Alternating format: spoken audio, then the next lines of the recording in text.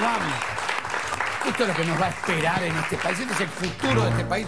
Gente no dándole quórum a otros y otros no dándole quórum a otros. Y cuando los otros hagan querer quórum, estos tampoco le van a dar quórum. Así va a ser la historia. A mí lo primero que me llama la atención es eh, la falta de inteligencia de algunos sectores de la oposición que van a gobernar. Y yo en general soy muy moderado acá. en este momento tiendo a no serlo porque eh, genera cierta indignación el doble estándar. Le pidieron al juez Carlos Fait, imposibilitado absolutamente de trabajar en la Corte Suprema de Justicia de la Nación, que se queda hasta el 11 de diciembre firmando fallos. Pero el Congreso, los tipos que eligieron todos nosotros, los que están mirando, los que no están mirando, no quieren que se sesione, no quieren, no creen en esa voluntad popular.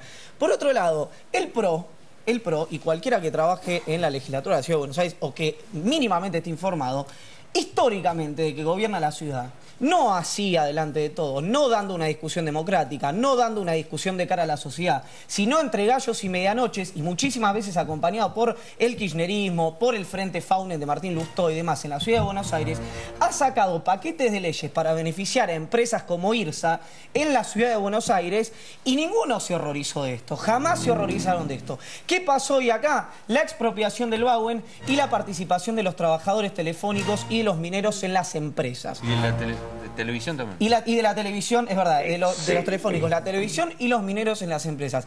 ¿Cuál es la bronca acá?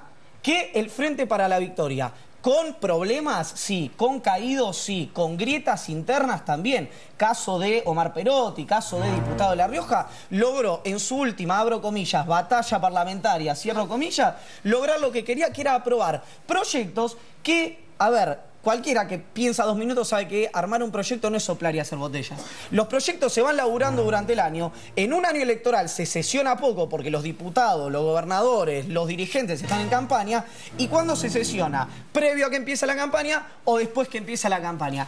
Hay un doble estándar realmente absurdo en este tipo de situaciones y a mí me resulta repugnante y guay, y guay de ponerte en contra de los medios de comunicación cuando pasan estas cosas. A Victoria Donda y a Claudio Lozano, o concretamente a Victoria Donda, muchas veces la trataron muy bien cuando hizo la alianza con Alfonso Pratgay en el 2003 en la ciudad de Buenos Aires.